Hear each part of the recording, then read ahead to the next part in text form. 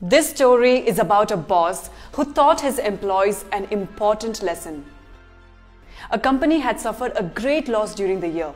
All the senior employees started blaming their junior employees for the loss. It was like chaos in the office. The boss heard everything and told them to leave. Next day at the office, all the employees came on time as usual. The employees saw something written on the notice board. It was written in bold fonts. The person who was stopping you from growing has been identified. He has passed away yesterday. And we request you to join us the funeral that has been set in the meeting room. Everyone was sad to know about the death of their colleague. But after some time, everyone was eager to know about the person who's no more. They were curious about that person who was the obstacle between them and their growth. The meeting room was full of employees and their curiousness was on another level. Security guards were called in to make the situation in control. Everyone in the meeting room had their eyes on the coffin and they were thinking, who is this person who's stopping my growth? Thank God for taking this person away. The employees started to come closer to the coffin to offer their condolences.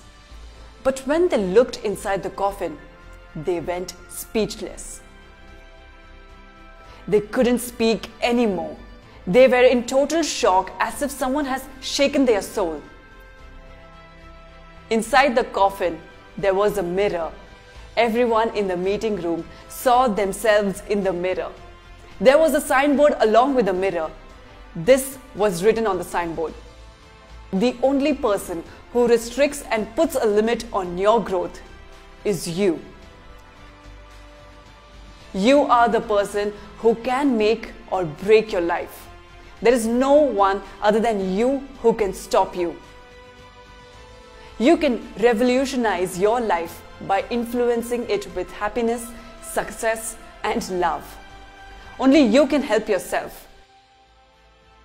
You are in charge of your life. Your life doesn't depend on your boss, juniors, friends, or social media. It's you who can make a change and grow yourself. Get out of your comfort zone. Don't set a limit to your capabilities. Believe in yourself and be the change. The most important relationship you can have is with yourself learn and take risks to grow. All the employees had hung their heads low after reading those lines.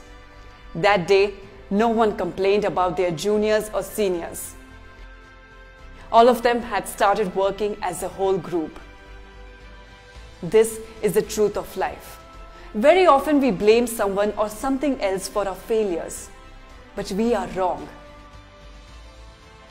Our success depends on us, only us. No matter how many excuses you give and how many points you make, it is you who failed at the end of the day, no one else.